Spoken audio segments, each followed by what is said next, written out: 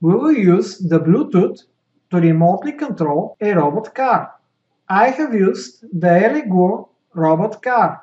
It's a great low-cost kit manufactured by Elegoo. You can see their website. For its feature set, this is by far the most affordable robot kit that I have seen so far. It includes HC06 Bluetooth module for remote control, which makes it a great candidate for our demo. It also comes with rechargeable batteries with charging station, infrared remote and receiver, infrared line tracking sensors, and ultrasonic distance sensor mounted on top of servo that allows it to be rotated and measure distances in different directions. Let's start with the robot design in Visuino. To control the motors, the robot contains a motor driver board based on the L298N chip. We need to add Visuino component for it. In this kit, the motor board is connected with 3 pins per motor.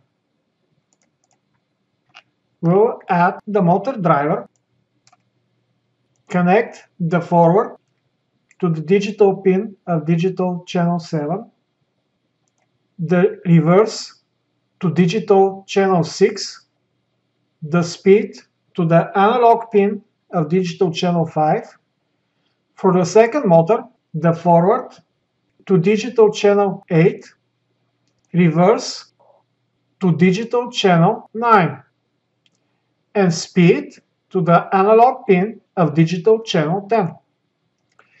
The dual motor driver component has two input pins to control the speed of the two motors. We'll send certain values for the motors to go forward, backward, or stop. This will work, however, the motors will turn suddenly and this will not be a smooth ride for the robot. It is best if we introduce transition between the values with a ramp. Visuino includes special component exactly for this purpose.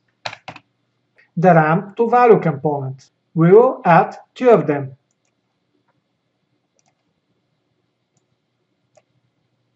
For the two motors and we'll connect them.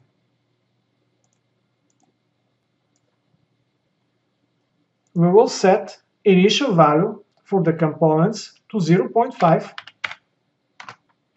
which means stop for the motor the speeds for the motors are 0 backward, 0.5 neutral, and 1 forward. For slope, we'll set 1.5.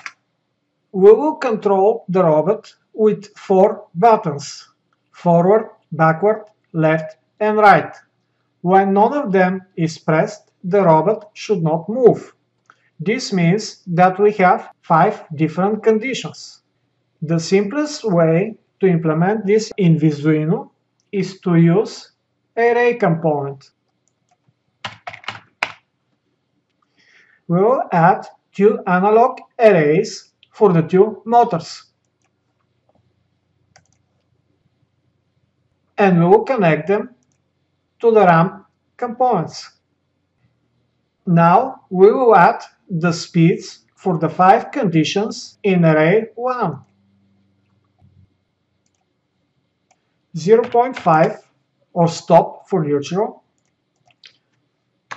1 for forward, 1 for left, 0 for right, and 0 for backward.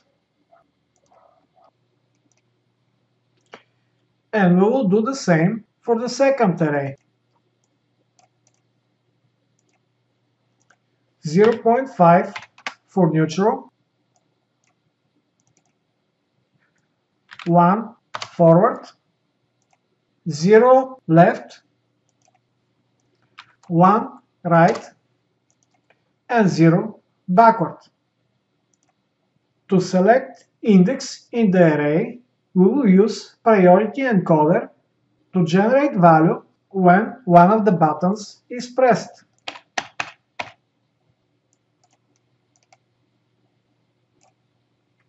We will connect the priority encoder to the index pins of the arrays. We will receive four different characters from the serial port. F for forward, B for backward, L for left, and R for right. We need to detect those characters. We can do this by comparing them with character constant. For this we use compare component. We will add four compare char value components.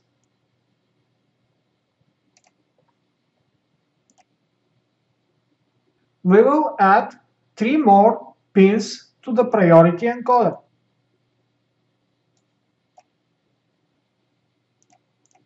We'll set the four characters for the buttons. F for forward, L for left, R for right, B for backward. And we'll connect the components to the priority encoder. Now all we need to do is connect the serial port to the compare components.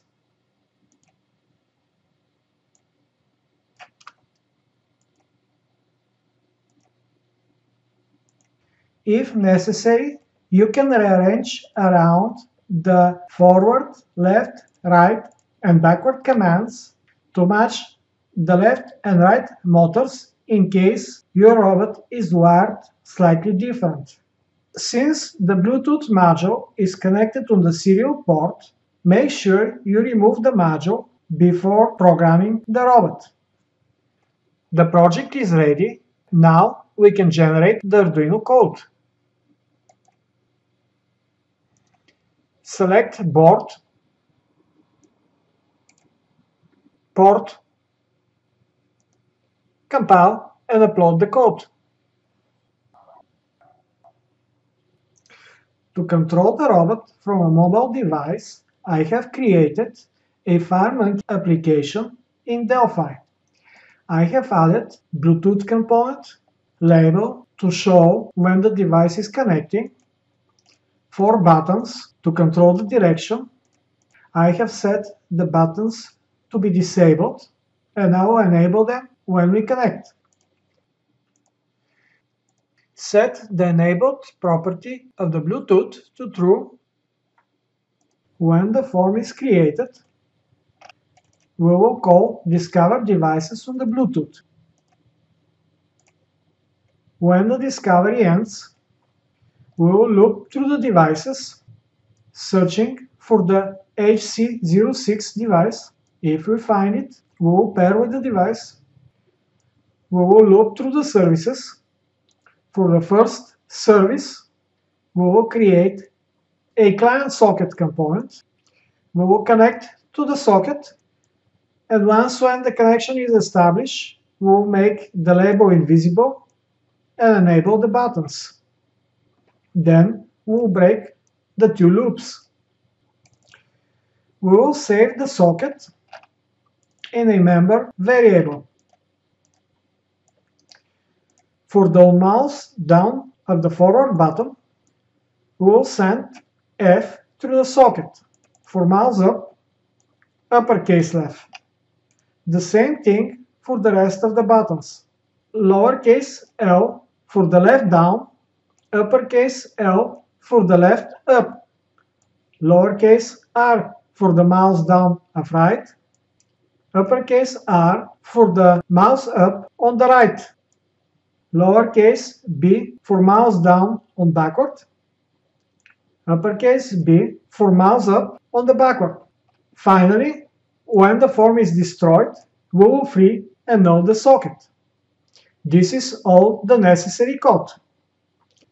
In order for the application to be able to use the Bluetooth, in the project options, we need to set the Bluetooth and Bluetooth admin to true. Now we can compile and deploy the app to the phone. Control the robot by pressing the buttons forward, backward, forward again, left, right, left, forward,